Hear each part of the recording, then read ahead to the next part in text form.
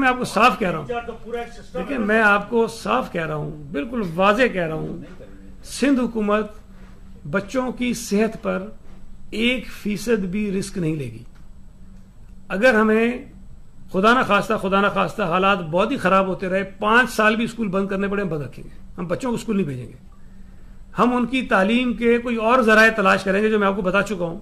कोई और बंदोबस्त करेंगे कि बच्चे पढ़ें लेकिन ये इजाज़त हम नहीं दे सकते कि हम हज़ारों, सैकड़ों बच्चों को किसी एक स्कूल के अंदर भेजें और ये रिस्क लें कि खुदा ना खास्ता वो वायरस जो है वो बच्चों में किसी तरह से जाए। ये हम नहीं कह सकते।